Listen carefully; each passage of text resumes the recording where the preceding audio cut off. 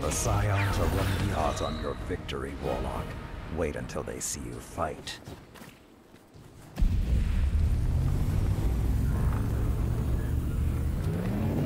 Captured Zone A. Opponent claims Zone C.